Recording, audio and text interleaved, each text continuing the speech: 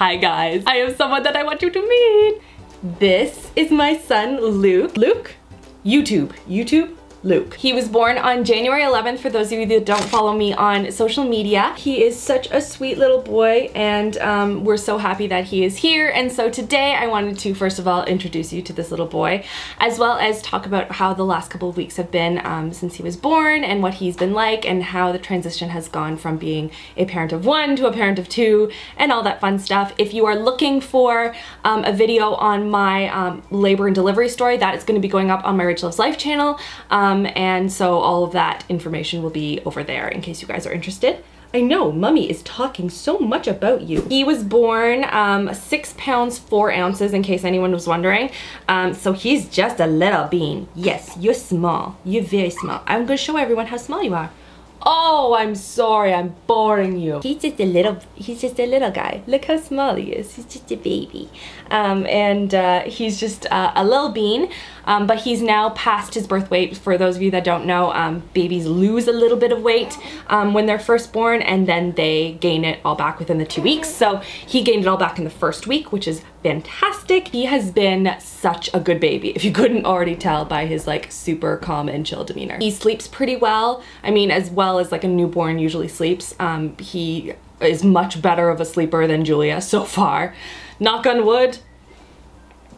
He's slowly learning the difference between day and night. He kind of um, started out a bit of a night owl and he's like, guys, it's three o'clock in the morning, let's do stuff. In terms of how has Julia been, um, she's been pretty good, I would say. I mean, obviously at first, you know, there's a little bit of jealousy with like a new baby coming and stealing some of the attention. So um, we were acting up a little bit at the beginning, but she's doing a lot better now um, because that's completely out of her uh, normal character. She's such a sweet girl. She loves to come over and like stroke his cheek and just say, hello baby Lou. In terms of how Chris and I have adjusted, I think, you know, a huge part of it has been that we have just incredible family and friends that have really just gone above and beyond to help us out and spend time here to help us kind of adjust and get into the groove of things. And so my parents and my in-laws and my sister have all been just fantastic in coming down here and, you know, just helping us out around the house and watching Julia and making sure she has lots of attention while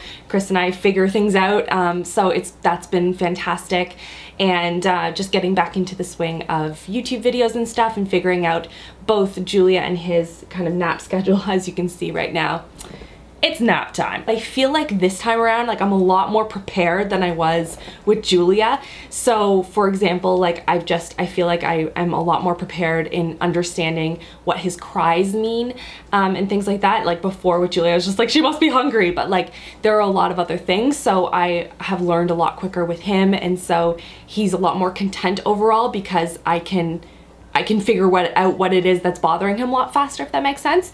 Um, so that's been great. And uh, yeah, you have some words? Yeah, I know. Shh, mommy, stop talking. I'm very sleepy. Yes, you're very darling. You're very darling. I just want to watch his face all day. So I'm gonna go and put this little monkey man down for a nap now. Um, and uh, thank you so much guys for watching this really quick little video. Um, introducing you guys to my new little, yes, my new little love in my life. Little man, you're so sweet. Don't forget to check out my Rachel Loves Life channel in case you guys are interested in seeing my um, hospital like labor and delivery story. That will hopefully be up, not this weekend. I tried to put it up last weekend and that did not happen.